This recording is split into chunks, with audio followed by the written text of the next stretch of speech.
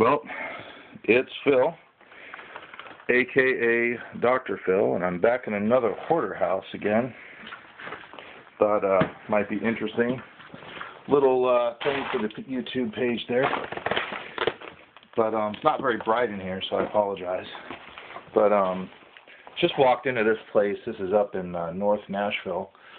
And this had some dogs apparently that have been locked in here for I guess several months. And what you are looking at right now are literally piles of feces. Some places they are a good foot or so, not just mounded up. No chance in not walking on it in here, but you just try to walk on the little stuff. So, looks like whoever lives here probably moved out in a hurry because there's quite a bit of personal belongings and sweatshirts and things here. The uh, smell is pretty remarkable in here. Not the worst house I've ever been through, but uh, definitely not the best either. Just piles and piles of dog food bags laying there. Uh, syringes, uh, baby shampoo bottles just laying all over the place egg cartons.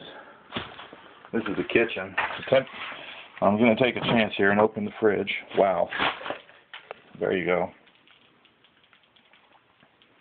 Literally just covered and coated with insects.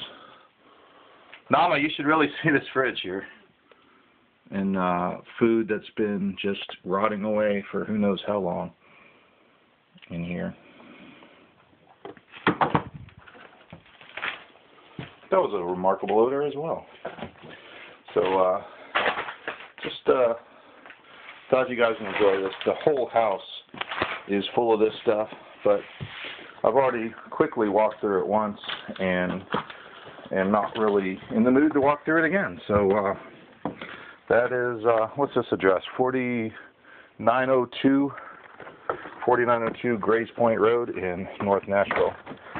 And uh, wow good luck to the mortgage company.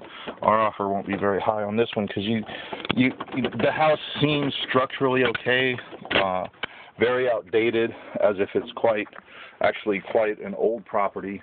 Can't really look there; the light's too bright, but um, it's an older property. Looks like inside it's probably from the 1950s or so, and so it seems structurally sound, but we can't really tell because there's too much stuff piled up. So we're gonna reduce the offer for that.